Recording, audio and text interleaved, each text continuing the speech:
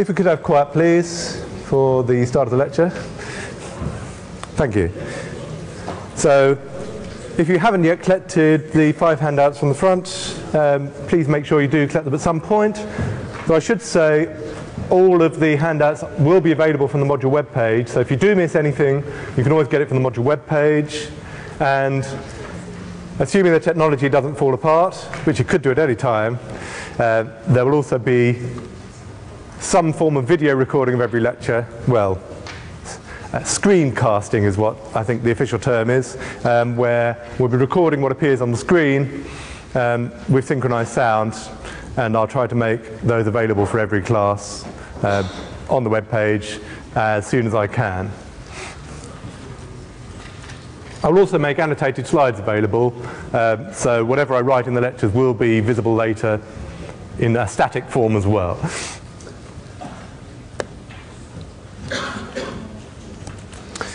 So this is the first proper lecture for mathematical analysis, and we'll be starting chapter one. Now, it's changed quite a lot since Dr. Zacharias last gave this module, which was back in somewhere around 2004, or was it 2003? Anyway, there have been quite a lot of changes since then, but I must acknowledge that, that he did originally write the notes for this module. I've made various modifications.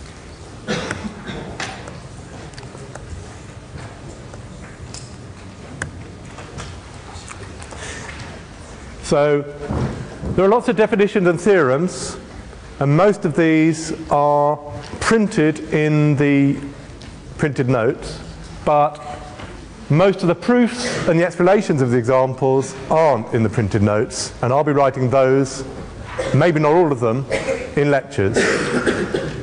And maybe some of the ones I don't do in lectures, I might do more examples in the examples classes. So we will do, we'll cover a lot of examples in this module, and you can't understand the theory without understanding examples, and how the theory applies to the examples, and how the examples demonstrate the theory, and the various concepts in this module. I recommend filling in the gaps in the lectures as I do, even though I'm expecting, technology permitting, to be making the written notes available later, but I still recommend that you write them yourselves during the lectures there won't be too much to write because most of the stuff is already printed. Having said that, there's something to be said for writing out for yourself the statements of the theorems and the statements of the definitions because if you never write them yourself, maybe, they won't, maybe you won't quite appreciate them as well. So perhaps in your additional time and remembering that you've got three hours a week of contact hours, but you've also got three hours a week on your own, to work on this module, one of the things you could do is write out some of the definitions and proofs, uh, definitions and statements for yourself, just in case that helps. So as I've said, I'm hoping to be able to produce annotated slides and uh, audio and video from the lectures. We'll have to see whether technology uh, lets me down or whether it works.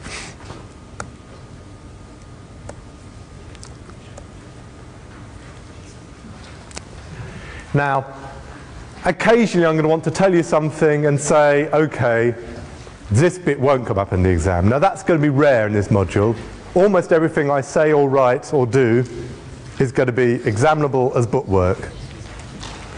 And even if it's not examinable as bookwork, it could still come up in the exam as relevant to something else um, because the unseen parts of exam questions, anything goes. So the more you already know, if you go away and read some around the subject, read a bit more in books or something like that, the more you already know, the more likely you are to already know something that will help you with an unseen part of an exam question. But as I've said, quite a lot of stuff is what I call examinable as bookwork, can come up on bookwork parts of exam questions. Anything can come up, but if you're looking to make sure you're on top of the bookwork, then this uh, abbreviation NEB is a sign that this particular aspect or this particular bit that we're doing is actually not examinable as bookwork, but is interesting anyway.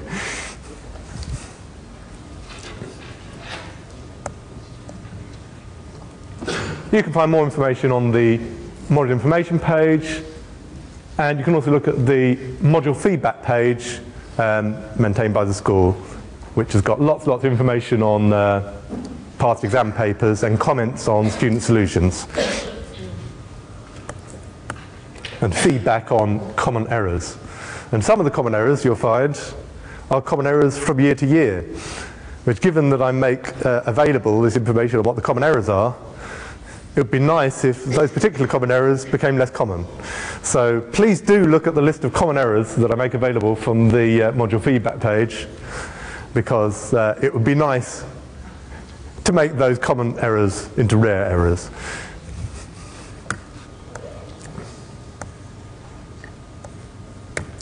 So it brings us on to chapter one, an introduction to d-dimensional space. Now a lot of the stuff we're going to do here is pretty much revision. I want to establish the basic notation. I'll give you some alternative notations as well. So I'm using, actually, little d gets used for two things in this module. It gets used for distance as well sometimes, but often it gets used for the dimension of the space we're working in. So we'll be working with r to the power d, d-dimensional space, which means you've got d different coordinates, and uh, the coordinates are real numbers. So you're getting d tuples.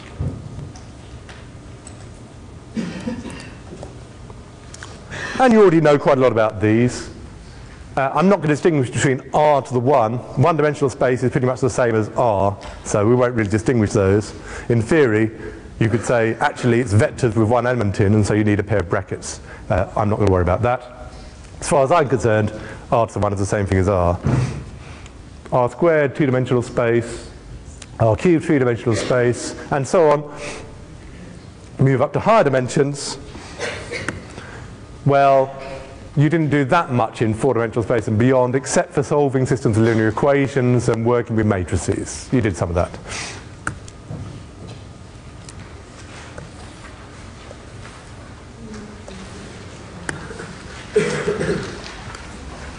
Now, here's a quick reminder about set notation. I want to point out that for us,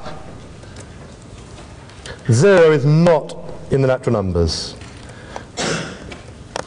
Different lecturers, this may vary. Different books vary. I think it's a 50-50 split in the literature. People do not agree whether zero is a natural number or not. So in this module it isn't, and it's rather important to know that because otherwise you're going to keep thinking I might be divided by zero when I'm not. For example, that's going to come up straight away in a minute when we talk about the rational numbers. Um, I'm going to be dividing by things that are natural numbers. You want to be sure that's safe. Well, 0 isn't a natural number, so we won't be dividing by 0. That's in this module. So when I say 0 is not a natural number, I say that's for us. So that's in G12MAN. So Z is a set of all integers, positive, negative, or zero, whereas this um, called blackboard bold, these funny, uh, these funny symbols. So blackboard bold Q, the rational numbers, that's all the possible fractions you can make by taking any integer you like and dividing by a strictly positive integer. And I found people get confused about that, so make sure people are all right. I found that uh, in the exams, when I've asked questions about these things, it turns out that people are still confused about this notation and have mixed up Z and Q. So do make sure that you know which is which, because otherwise it could spoil an entire exam question for you, or at least a part of one. Real numbers then is blackboard bold R, and the non-negative real numbers are plus, but I don't care whether you put the plus at the bottom or the top, and I'll probably forget and put it at the top because I do that sometimes. Uh, when Dr. Zacharias wrote these notes, he put the plus at the bottom.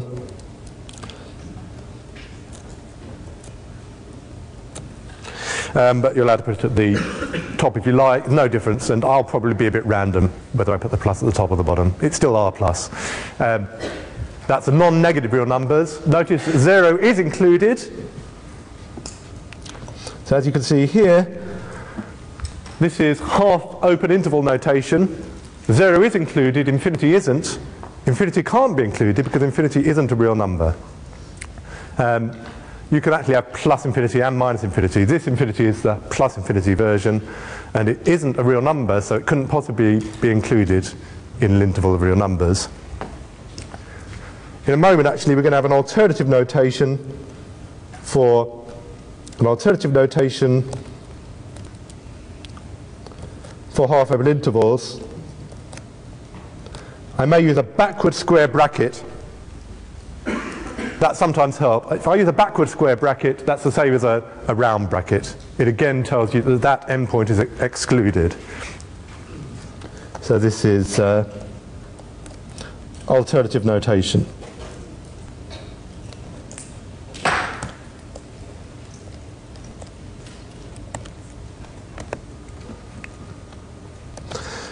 Okay, that's all pretty easy so far.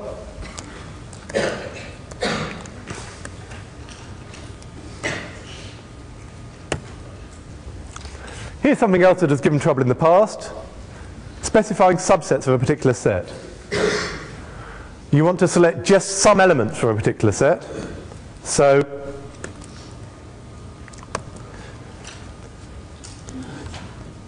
again, I accept two different notations for exactly the same thing, you can use a colon instead of a vertical line. I don't care.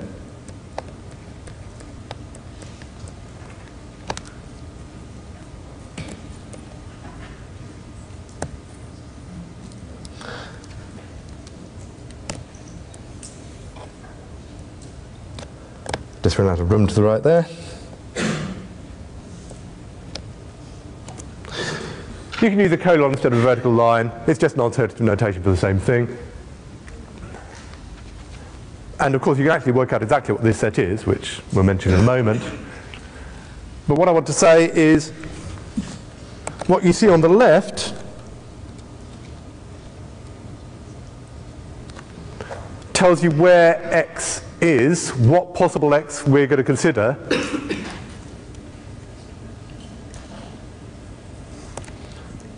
but we don't know exactly which of them we're taking yet. And then on the right, we have the conditions on x.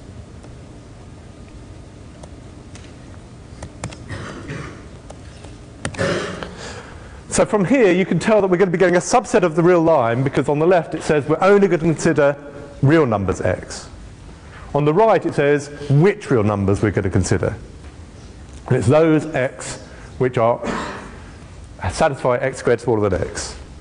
And you can do a calculation to work out which x satisfies that and find out exactly what that set is. The second one is similar.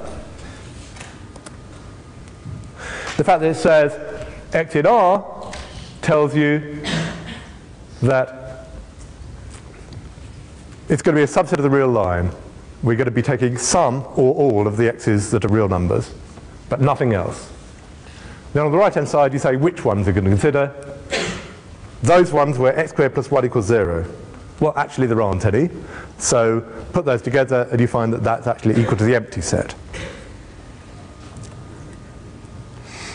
So the second one is the empty set. The first one turns out to be those x's which are strictly between 0 and 1 you could do a little calculation to check that.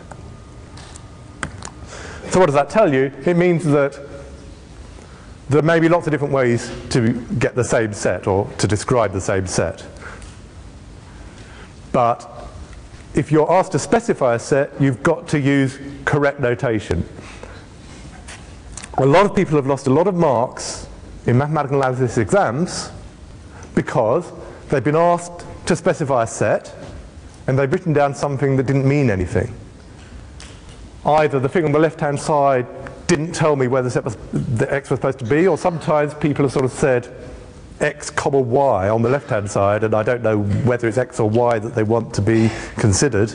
Um, you've got to use correct notation. Now, the letter doesn't have to be x, it could be y, but you shouldn't write x comma y on the left, I mean, uh, with no brackets or anything, otherwise I won't know which thing you're specifying. So try to make sure that you use set notation correctly. Otherwise, I'm just, I can't give marks in the exam for things which I don't understand. Um, if you can't express it correctly, then I can't give you the marks for it. Unless I can actually guess what you meant, in which case I might be able to give you some marks for it.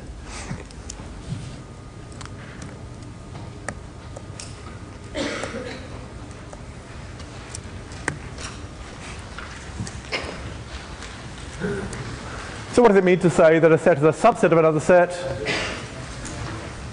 In this module, I use this subset or equal notation. Some people use um, the subset without the equals, but I find this is the least ambiguous of them. This means that every element of A is also in B. That means that A is a subset of B. So B might have some things that aren't in A, but A doesn't have anything that isn't in B which you could do in logical notation.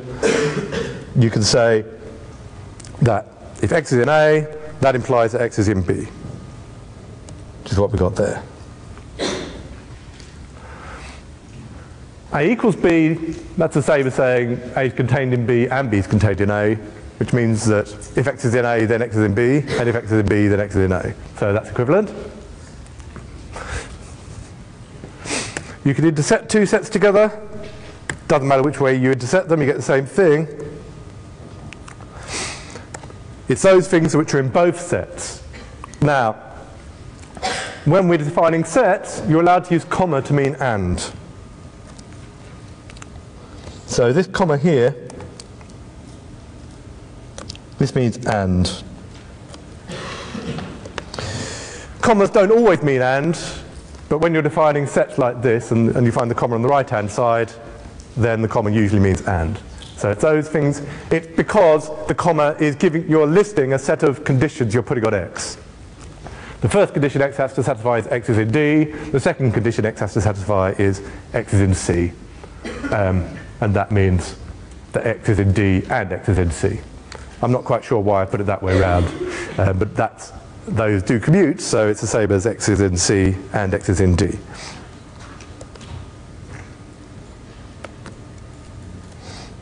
For union then, instead of and, you have or. Make sure you know the difference between union and intersection. A lot of people have lost a lot of marks in mathematical analysis exams because they couldn't remember which was which. So do try to remember which is the union and which is the intersection. The union, and one way to remember is that a union symbol looks like a U, so that that might be helpful. And the union means you put them all together, and it's those things which are in at least one of the two sets.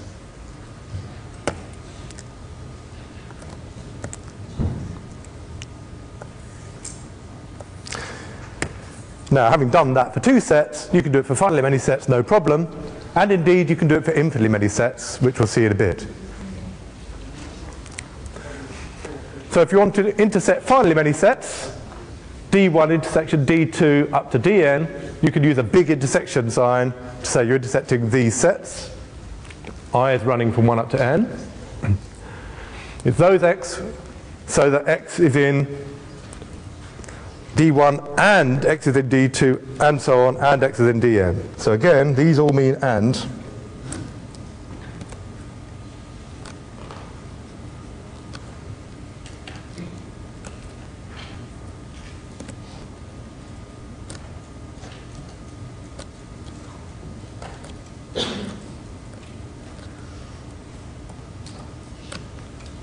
It has to be in every single one of the sets so those commas are meaning and here.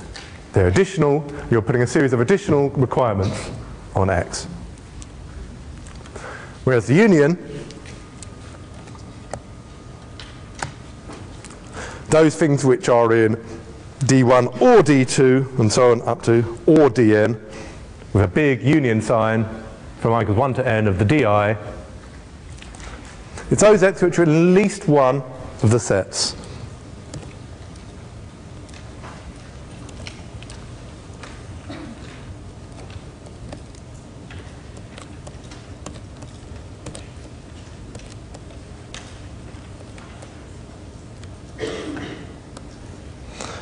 Which we'll see again in a moment.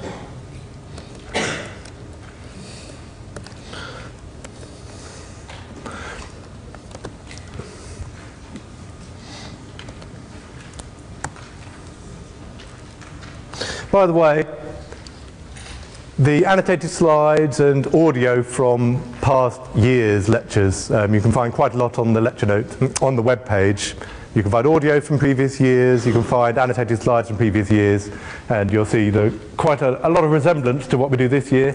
You won't find any video from previous years, so that's new this year.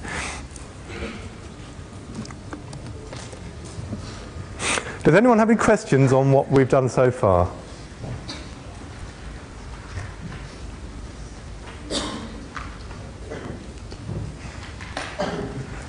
I'm quite happy to take questions in lectures, or at the end of lectures, or by email, or you could drop in during my office hours, or whatever. Um, I'm always happy to see people taking an interest. However, most of the stuff we've done so far is pretty much revision. But it is important to clarify notation and definitions, as we'll see a lot in this module, and as we'll see in, uh, in the special sessions on proof, if you come to those.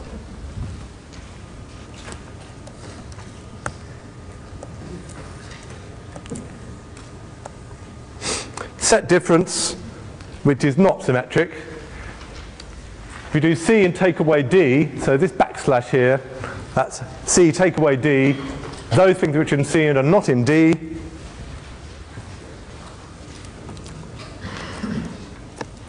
which I can draw a little diagram of.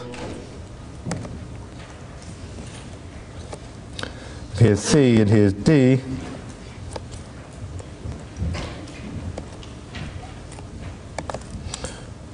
Then C take away D is this bit.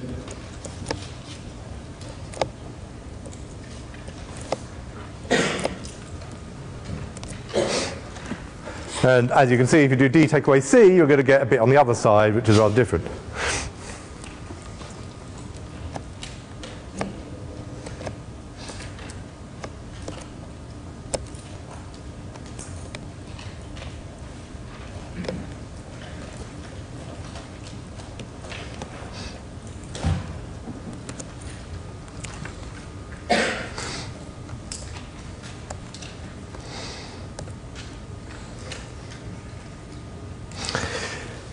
Complement is a useful space-saving notation.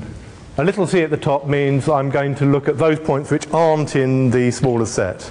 Now usually we'll be working with taking complement in the real line or complement in r to the d. And that's what we're almost always going to do.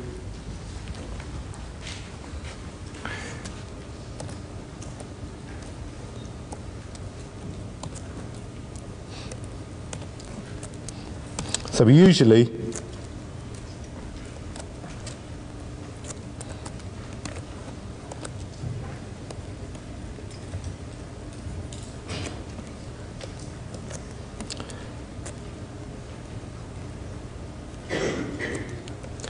You usually take a set A contained in R to the D and then take the complement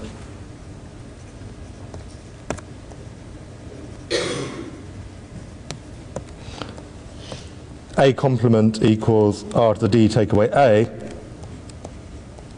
in this module. In fact, I think that's all we're going to do in this module. When you move into third year, you'll have a more abstract setting and you may take complements of sets in other sets. And, when you, and that's something else you do in probability anyway. Um, but since we almost always work with sets and their complement when you're working in R to the D, you can expect that to be the general situation. So this example here, it says, an example of a complement of a subset of the real line. This gives you a chance to see what sort of sketch I'm going to draw for things. So I'm going to take um,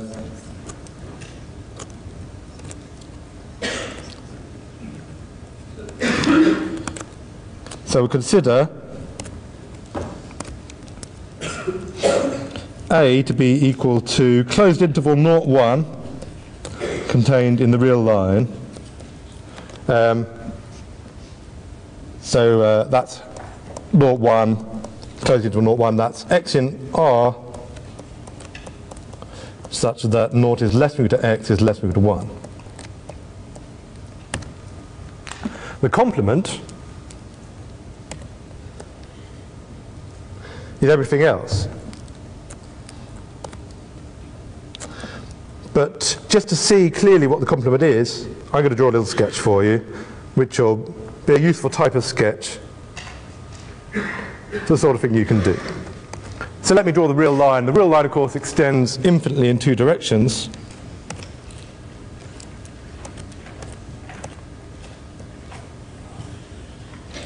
So let's make that clear with these dot dot dots to show it goes off to infinity. Let me pick out an important point, naught, and another important point, 1.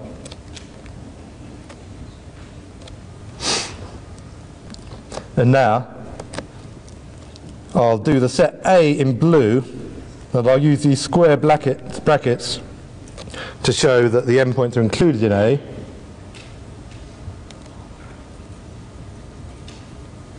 So this is set A. A complement then is everything else. And I'm going to use round brackets for this. I find that easier than reverse square brackets in this situation.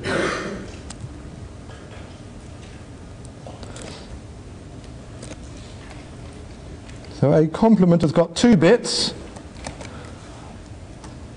The round bracket shows that the endpoint is excluded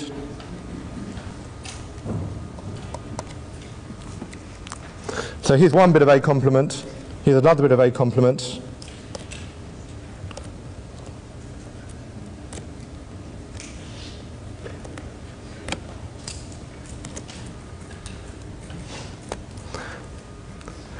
Sure why yet with this tablet screen. Every now and then it suddenly draws a line between the last two points I pressed. Um, if I can master that, it's going to save us a little bit of time.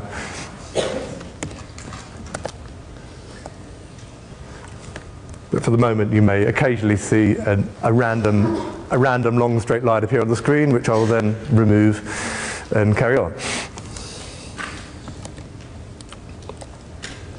So a complement is exactly equal to the union of two sets minus infinity up to zero, endpoints excluded, together unioned with 1 up to infinity, endpoints excluded, um, or in our alternative notation,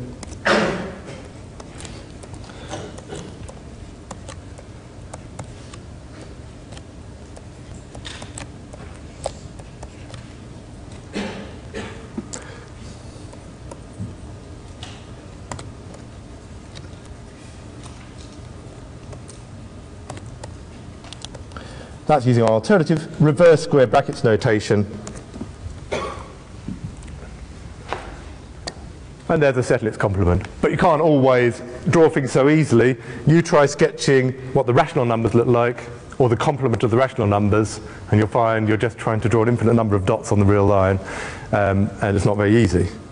Nevertheless, I will be drawing those dots, well, not infinitely many of them, but I will be drawing lots of dots on the real line occasionally to illustrate the rational numbers and the irrational numbers.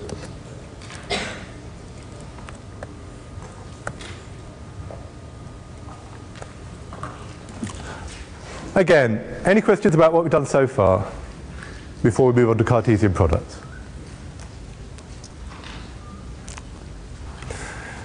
Okay, Cartesian products then. These have caused a lot of problems in the, in the past as well. There's this notation, there's an x in there, a times, but it doesn't mean you're going to be multiplying numbers together.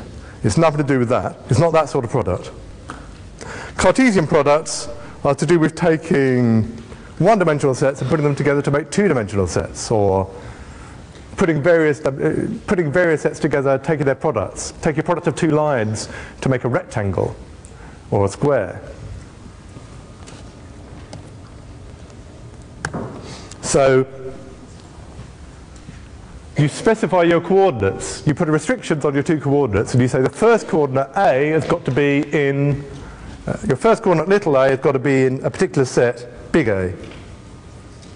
And your second coordinate little b has got to be in your set big B. And so you get these two restrictions. That comma again is telling you that you've got a list of restrictions and you're restricting A to be in capital A and B to be in capital B. And this time you do have an A comma B on the left hand side, but only because I've got brackets around it and it's specifying a point. If I left those brackets out and said A comma B without those brackets, it would be nonsense um, because I wouldn't have any idea what the set you meant. Um, would I be looking for a set of A's or would I be looking for a set of B's? Would, it wouldn't make any sense to me. However, with those round brackets in, you know I'm specifying points where the first coordinate is in A and the second coordinate is in B. Of course, two points are equal if and only if their first coordinates are equal and their second coordinates are equal. And if you do r cross r, well, that's really just the same as r squared. It's a set of pairs where the first point is in r and the second point is in r, and so you've really just got r squared. And as we all know, a point of r squared is a point of two-dimensional space.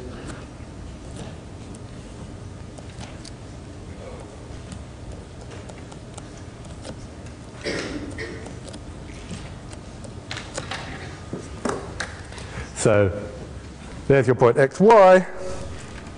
x is the x coordinate and y is the y coordinate. And that's a way of visualizing it. And typically that's how we'll think of things in this module if you're doing Cartesian products. That's just one point. It's a good idea to know how to uh, sketch Cartesian products of sets though. So let's have a look at what happens if you take a Cartesian product of uh, two intervals in the real line.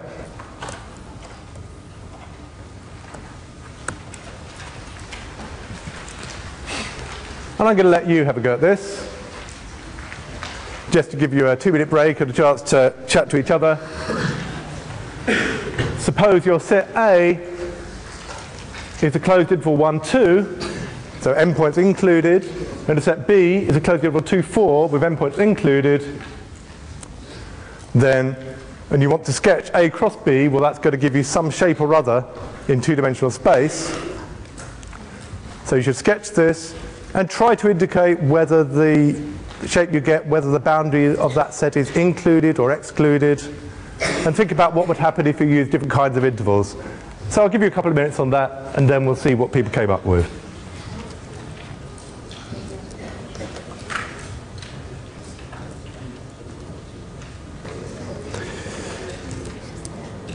So let me just um, give you a couple of alternative ways of writing that before I find out what you've got.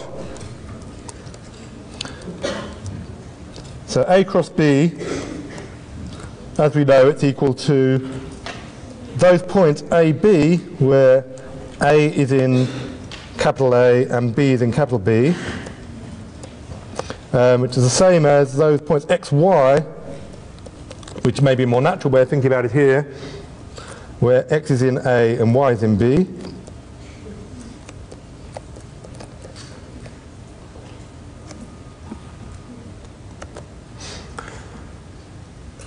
So x has to be in the closed interval 1, 2, and y has to be in the closed interval 2, 4. So is anybody uh, willing to tell me what, uh, just give me a brief description of what that shape is? Anybody want to tell me what that shape is? There's a rectangle, um, which is two high and one wide, going in the appropriate places, and the boundaries included.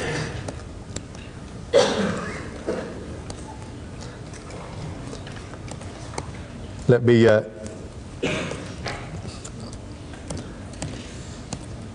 so put this other thing in here. Oops, here we go again.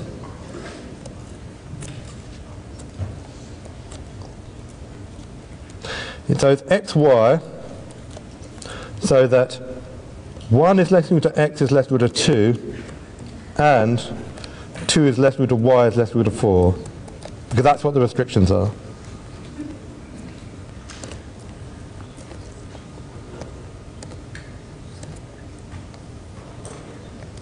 And we can draw that easily enough now. So what do you have? Let's draw the x and y axes.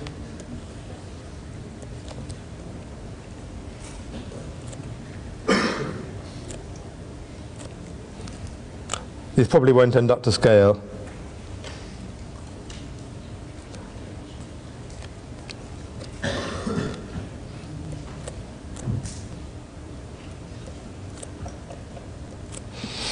Uh, right, so x is between 1 and 2 inclusive, y is between 2 and 4 inclusive.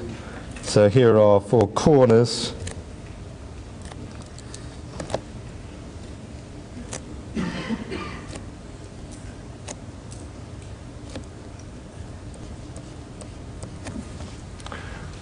So the rectangle, two high, one wide, boundary included.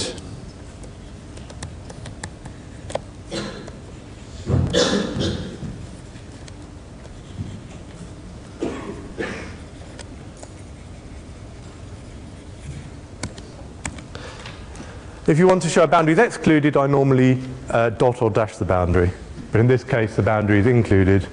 It always helps to just say anyway, um, then there can't be any misunderstandings.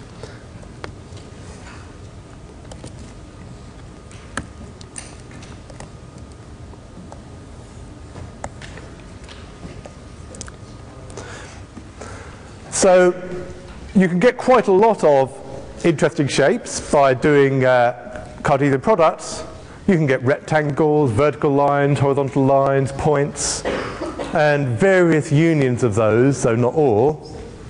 Um, but there are some things you can't get, and you cannot get anything round, and you can't get certain other kinds of shapes, and you can't get 45 degree angle lines, which is the sort of thing we got here. So let's see if I can sketch these sets for you. Um, why don't I leave that as an exercise for you? Um, S is a right angle triangle.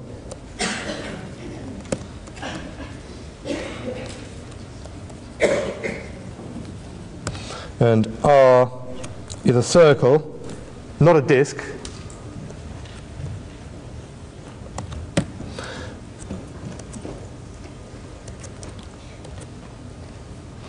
As an exercise, um, sketch these sets.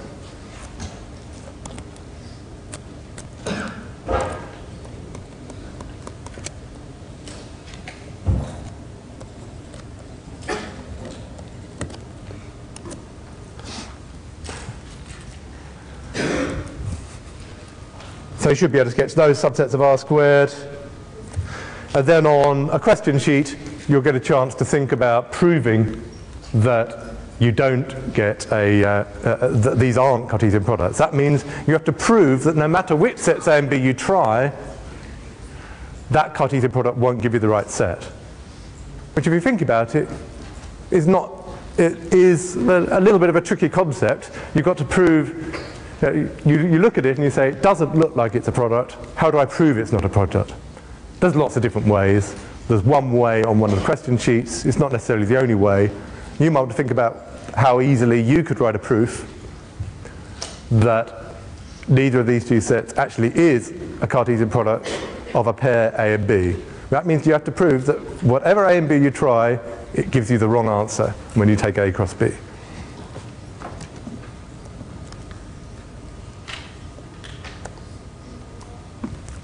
Any questions on what we've had so far?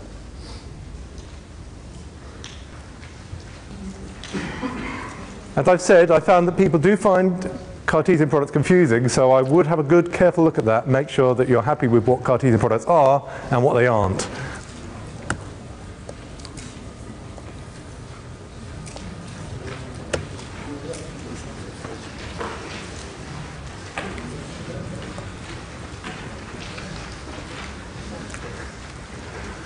Okay, now as I said, R cross R is really the same as R squared. You can take products of three things, then you go to triples, and of course you get R cross R cross R is R cubed, and so on.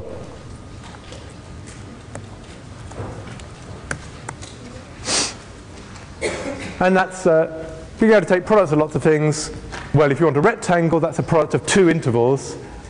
Um, if you take a product of three intervals, you get what you call a, well, a cuboid, because it doesn't have to be a cube, a or uh, also known as a rectangular parallelepiped, or however you pronounce it.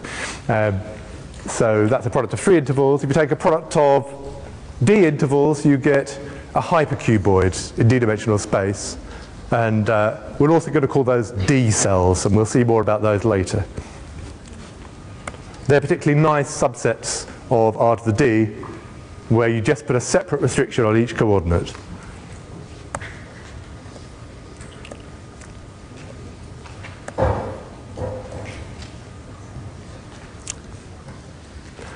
So what is R to the D? Are we dealing with points or are we dealing with vectors? Well, I'm not going to make a distinction. I might treat things as vectors and add them together. I might treat them as points and say, here it is. Um,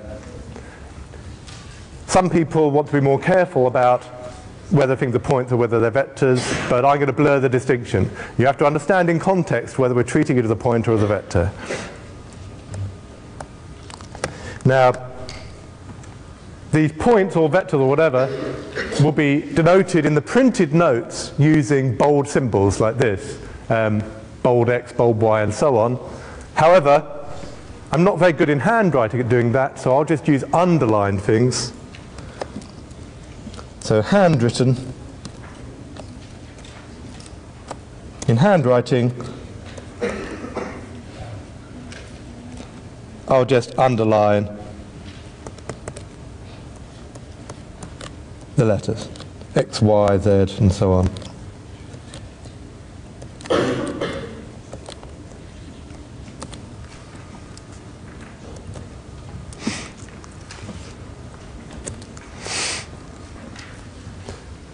Because otherwise, well, you won't be able to tell the difference if I try to show you bold handwriting or, or unbold handwriting.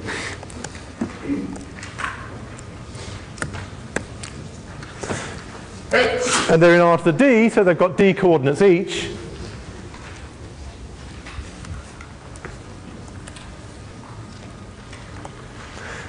You could write them as column vectors. Actually, I'm not going to do that very often. Apart from anything else, it uses up a lot of space. So I normally think of uh, I normally think of these things as column vectors, but uh, they do take up a lot of space.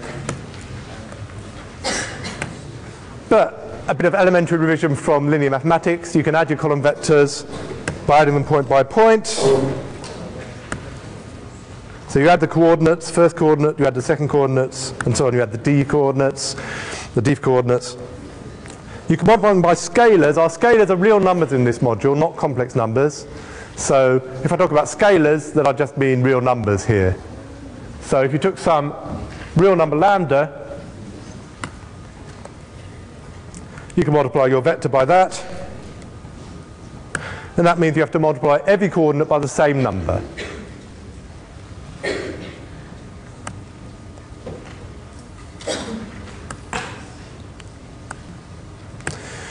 But you can save a bit of space by uh, writing them the other way. And some people object to this because it looks like I'm adding two points together.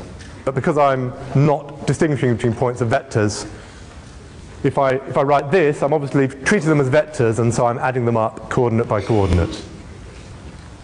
So I add the first coordinates, add the second coordinates, and so on, in the usual way.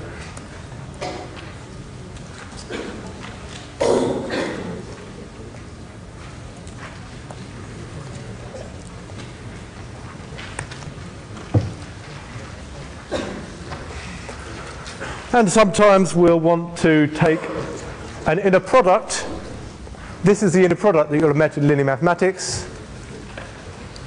It's just the dot product.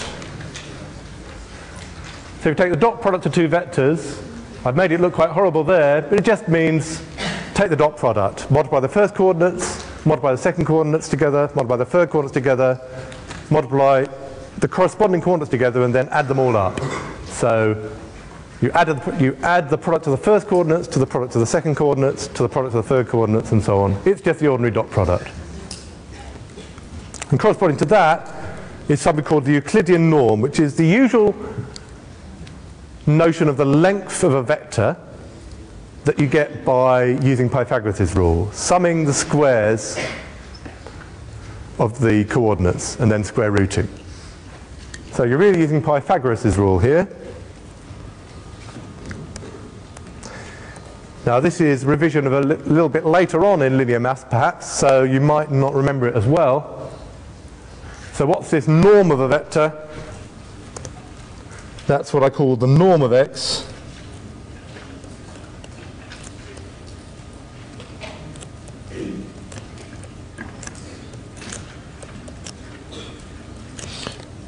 Or just norm x.